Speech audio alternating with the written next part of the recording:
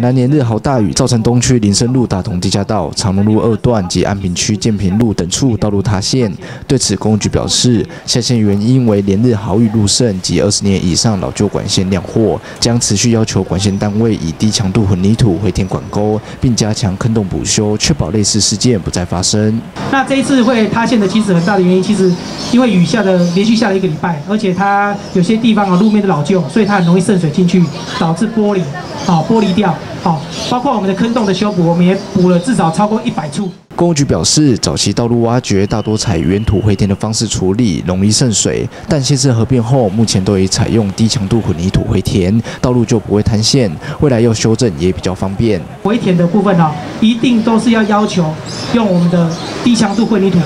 低强度混凝土去加强，的道路的路基就不会塌陷。公务局强调，市府将持续针对长隆、小东、东林、府联、大同、华南等六座地下道与建平路使用透地雷达进行检测，同时。呼吁各管线单位做好自主检查，确保坍塌事件不再发生。